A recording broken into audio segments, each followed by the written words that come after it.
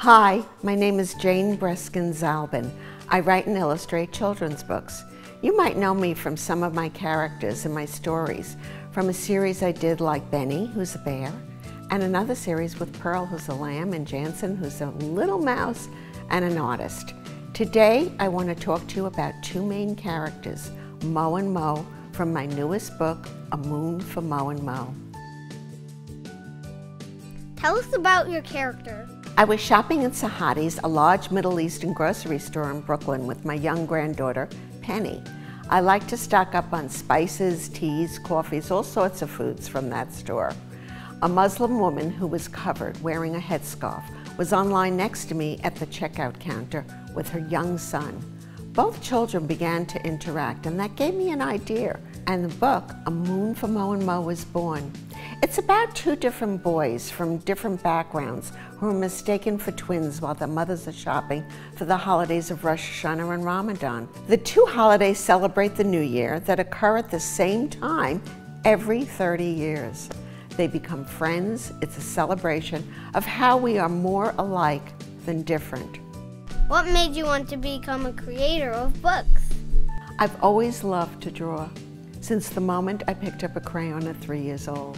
My mother took me for art lessons at the Metropolitan Museum of Art in New York City to paint when I was five years old, and I have never stopped.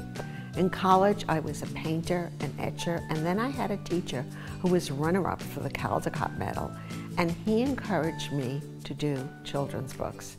As an author, my first efforts were poems for the second grade class newspaper, and then I went on to become an editor of the school newspaper by sixth grade. I've always loved to do both.